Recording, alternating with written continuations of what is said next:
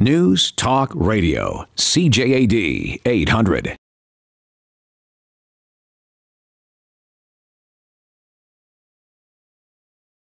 Welcome to École Royal Vale School here at uh, Somerled and Draper, where we find Lionel Polger, our CJAD hero.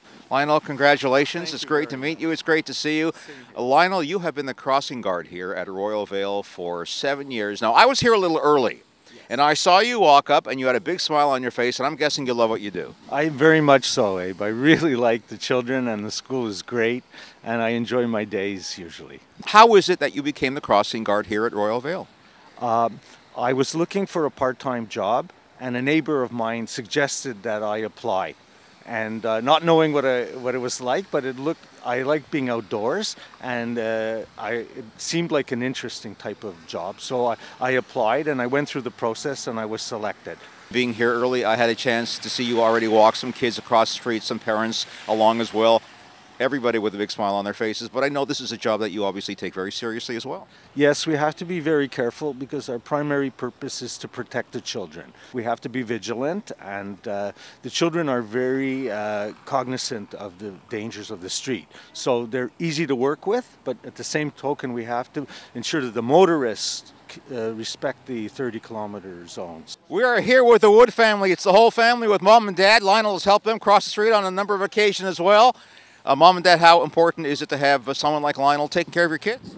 I think it's incredibly important. He always makes an effort to make sure, even when the little guy is slow, he waits for him, he lets him catch up, and he does a big, very good job. Does he make it easy for you to cross the street? Because I know the weather's been bad here. Yeah, the weather's bad, and also there's a lot of cars here, as you can see all around here.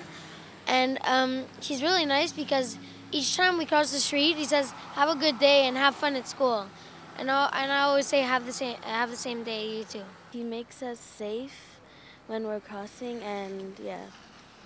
And as a mom, obviously, that's very important. As a mom, it's very important to me. And he's always smiling, even if it's raining, if it's snowing, if it's minus 20. He has a huge smile and great stories. He's always has very entertaining things to talk about. And he's just a very, very friendly person. And he stops cars, and it's a complete standstill on one of the busiest corners in the neighborhood. So we really appreciate him. He's our hero, too. It's been a pretty tough winter, Jean. Um, how important is it for you and the rest of the school administration and the school to know that no matter how much snow there is, no matter how much freezing rain there is, at 7 o'clock, 7.30, 8 o'clock in the morning, you have Lionel helping these kids across the street? Yes, yes, absolutely. Um, every year it's the same thing. Uh, we need uh, to have him around, and we can count on Lionel, and we can count on Arlette over there at the other school, and they they're uh, priceless.